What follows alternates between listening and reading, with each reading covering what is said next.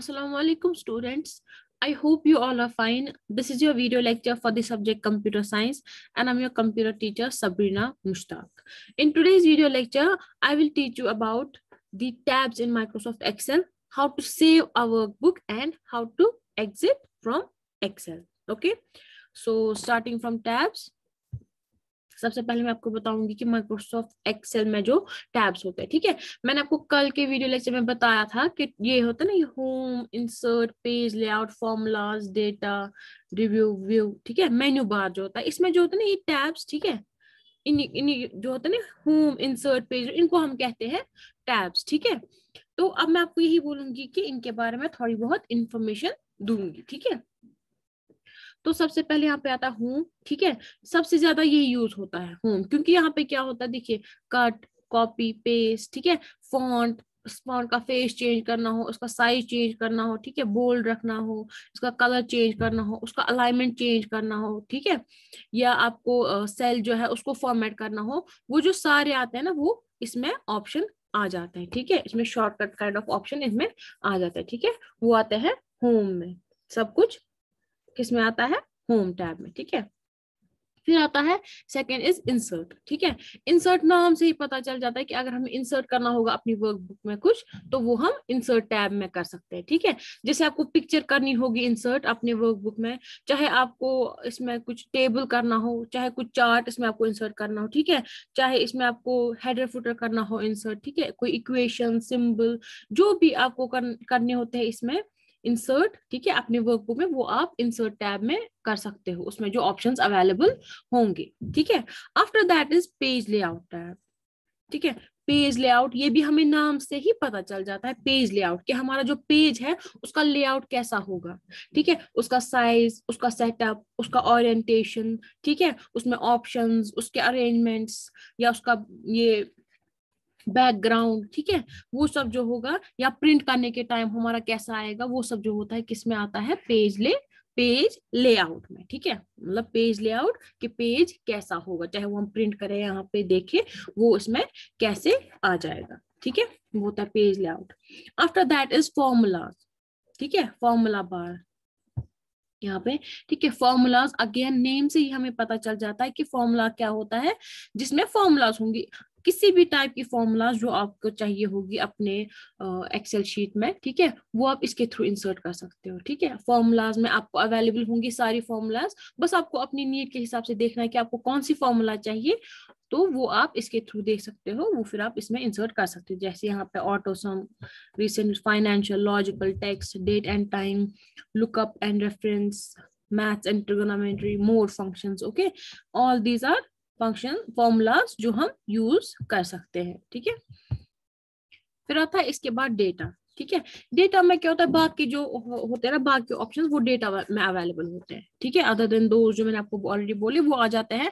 Data में ये ज़्यादातर यूज़ नहीं होता है, फिर भी, लेकिन कभी कभार नीड में नीड पड़ती है इसकी तो वो डेटा में होते हैं, ठीक है? डेटा टैब में वो अवेलेबल होते हैं, ठीक है?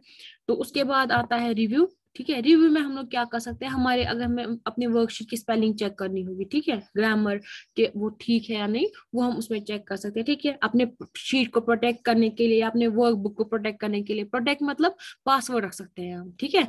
कि जब हम किसी को ये फ़ाइल सेंड करेंगे तो वो इसको तो वो इसको मतलब इसको एडिट कर सकता है या नहीं, या सिर्फ़ रीड कर सकता है, ठीक है? रीड राइट कर सकता है या सिर्फ़ रीड कर सकता है, ठीक है? इस तरीके से हम लोग अपने वर्कबुक या अपनी वर्कशीट को प्रोटेक्ट कर सकते हैं। वो किसमें आ जाता है? वो आ जाता है रिव्यू में, ठीक है? आफ्टर दैट इज़ व्यू ठीक है? व्यू हमें ऑब्वियसली पता चल चल रहा है कि व्यू कि हमारा वर्कशीट का व्यू कैसे होगा? जैसे यहाँ पे ऑलरेडी टिक करके grid lines headings formula bar अगर मैं इसको करूँगी ये, देखिए अनचेक किया मैंने, यहाँ पे फॉर्मूला बार गायब हो गया। इसको मैं वापस चेक करूँगी तो आ गया फॉर्मूला बार ठीक है? हमारे पेज में, हमारे वर्कशीट में क्या क्या दिखेगा, वो किसमें आ जाता है? व्यू ऑप्शन में, ठीक है? तो दीज वर द टैब्स ठीक है? ये सब जो थे, हमारे टैब्स थे, और इनमें जो ये ऑप्शन थे, ठीक है? फिर आता है इसमें ये स्क्रॉल बार ये मैंने आपको ऑलरेडी बोला ठीक है? स्क्रॉल uh, बार में क्या आ जाता है? इससे हम लोग स्क्रॉल कर सकते हैं फ्रॉम अप टू डाउन ठीक है? या from right to left left to right ठीक है? ये किससे हम कर पाते हैं? स्क्रॉल बार से जिस जैसे मैं इसको मूव कर रही हूँ ठीक है? इसको प्रेस करना है फिर इसको होल्ड करके रखना है and then we can move it from here and there okay so this was what scroll bar ठीक है? उसके बाद आता है स्टेटस बार यहाँ पे आप देख रहे हो ये, जो ये रेडी है, ठीक है? जो ये रेडी है ना, ठीक है? ये यहाँ पे क्या आ रहा है? ये यहाँ पे स्टेटस बार आ रहा है। कभी आप यहाँ पे लिख रहे हो फॉर एग्ज़ाम्पल मैं यहाँ पे कुछ लिखूँगी। ए बी सी डी ठीक है? यहाँ पे आ रहा है एंटर कि मतलब आपको इतना लिखना है तो एंटर ठीक है? मैंने कहा दिया फॉर एग्ज़ाम्पल तो ये इसका स्टेटस बताता है, हमारे वर्कशीट का स्टेटस ठीक है? फॉर एग्ज़ाम्पल अगर मैं इसमें बहुत सारा लिखा ना, फिर मैं सेव करूँगी ना तो वो यहाँ पे आ जाता है, ठीक है? यहाँ पे आप कर्सर की तरफ़ नज़र रखिएगा। वो यहाँ पे आ जाता है कि मैं क्या कर रही हूँ? मैं सेव किया तो वो यहाँ पे आ जाएगा कि ये सेव हो रहा है। मैं अभी जब मैं आपको दिखाऊँगी कि हम सेव कैसे कर सकते हैं अपने वर्कशीट को, अपनी वर्कबुक को, तब मैं आपको दिखाऊँगी कि यहाँ पे कैसे आ जाएगा कि सेविंग योर एक्सेल फ़ाइल ठीक है? वो मतलब स्टेटस हमें दिखाता है कि आपकी फ़ाइल में अभी क्या हो रहा है, ठीक है? वो आ जाता है इस पे स्टेटस बार पे, ठीक है? जहाँ पे प्रेजेंटली ये रेडी लिखा है, ठीक है? And after that is worksheet as I already told you ठीक है? जब बहुत सारे सेल्स मिलते हैं, वो बनाते हैं एक वर्कशीट ठीक है? All this this is work sheet इसमें रोज है कॉलम्स है, और उन रोज और कॉलम्स का इंटरसेक्शन क्या बनाता है? सेल और फिर जब वो सेल्स टुगेदर होते हैं तो उनको वो एक वर्कशीट बनाते हैं, ठीक है? तो सेल भी मैंने आपको ऑलरेडी कहा है that intersection of rows and columns जिसमें हम लोग अपना डेटा एंटर करते हैं, ठीक है? और इसका एड्रेस होता है यूनिट एड्रेस होता है, जो नेम बॉक्स में विजिबल होता है, ठीक है? इसका जो एड्रेस होता है that is column name and row name इन दोनों का इंटरसेक्शन उसके बाद वो नेम बॉक्स में उसका एड्रेस हर किसी सेल का एक यूनिक एड्रेस होता है ठीक है? किसी भी सेल का किसी भी तो, दो सेल्स का एड्रेस कभी सेम नहीं होगा। It is always different every cell has a unique address ठीक है? तो उसके बाद क्या आ जाता है? वो भी मैंने आपको कहा है कि एक्टिव सेल होती है जिसपे जो सिलेक्टेड सेल होती है ना एक्टिव सेल ठीक है? जो जैसे मैंने इसको कि जिसपे ये सिलेक्ट किया है ना डी सेवन ठीक है? This is the present active cell ठीक है?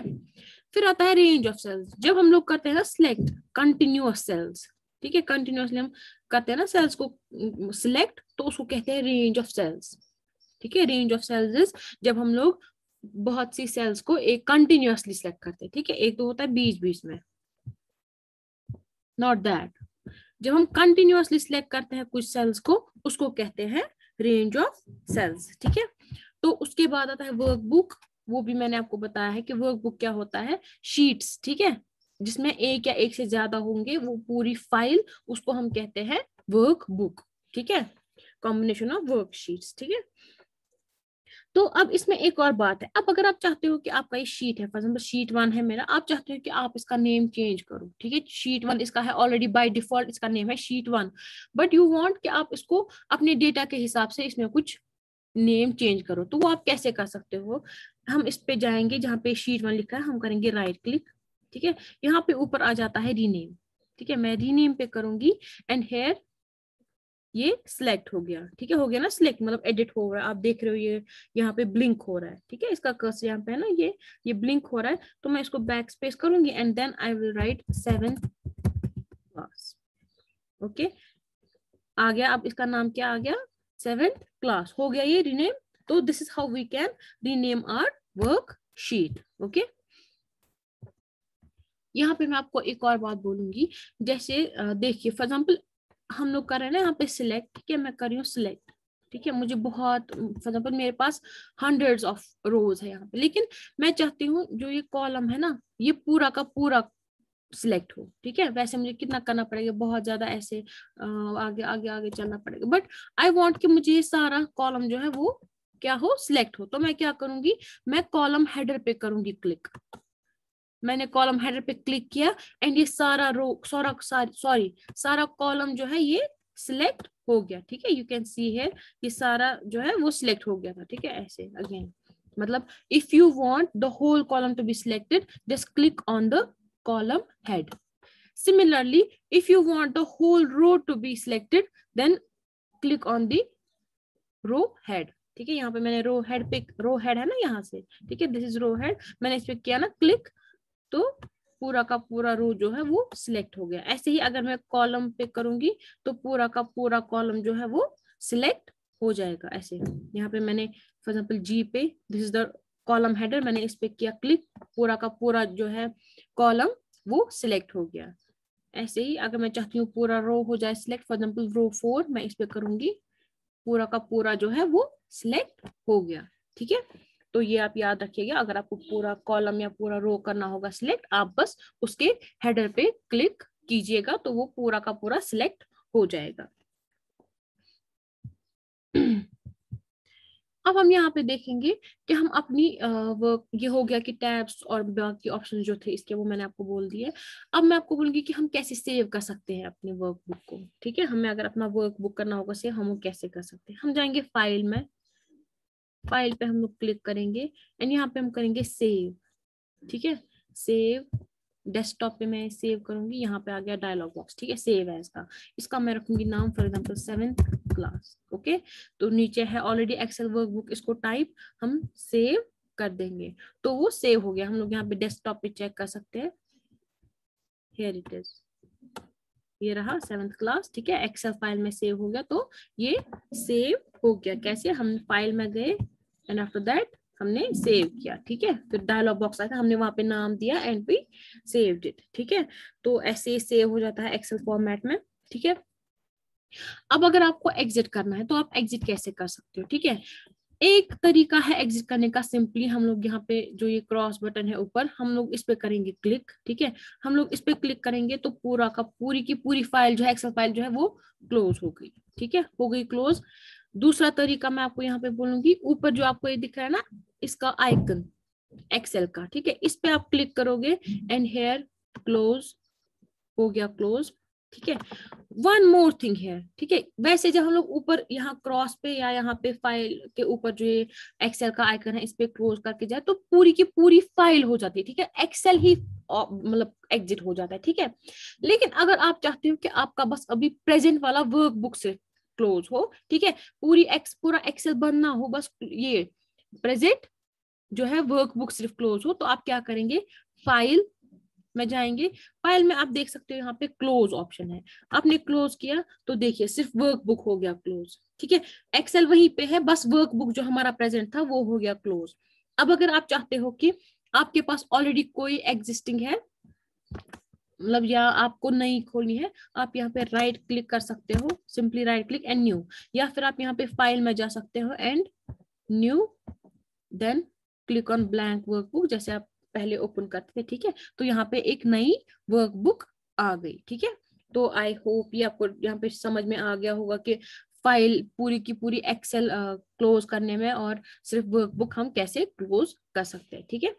तो आज हमने पढ़ा टैब्स के बारे में माइक्रोसॉफ्ट एक्सेल में जो टैब्स है, उसमें क्या क्या ऑप्शंस होते हैं, उसके बारे में हमने पढ़ा। मैंने आपको पढ़ा कि हम लोग कैसे सेव कर सकते हैं अपनी वर्कबुक को एंड मैंने आपको ये भी बताया कि हम लोग कैसे एग्जिट कर सकते हैं या हम अपनी सिर्फ़ वर्कबुक को कैसे क्लोज कर सकते हैं, ठीक है? आई होप आपको ये समझ में आ गया होगा एंड इसकी थोड़ी बहुत प्रैक्टिस करना घर पे मतलब थोड़ा बहुत देखना कि कहाँ पे क्या है, ठीक है? थोड़े बहुत ऑप्शंस भी ट्राई करना आप अपने हिसाब से जैसे मैंने बोले। तो बाकी कहीं पे आपको कंफ्यूजन हुआ होगा, कहीं पे कोई क्वेश्चन होगा यू कैन आस्क मी तो I will answer that okay आज के लिए इतना ही। इनशाला कल हम आप फिर वर्कशीट्स के बारे में पढ़ेंगे। कि कैसे हम लोग नई फ़ाइल ओपन कर सकते हैं, कैसे हम लोग ऑलरेडी एग्जिस्टिंग फ़ाइल ओपन कर सकते हैं एंड फिर बाकी काम जो हम एक्सेल में कर सकते हैं, वो हम इनशाला नेक्स्ट टॉपिक में पढ़ेंगे, ठीक है? तब तक इतना ही थैंक यू अल्लाह हाफिज।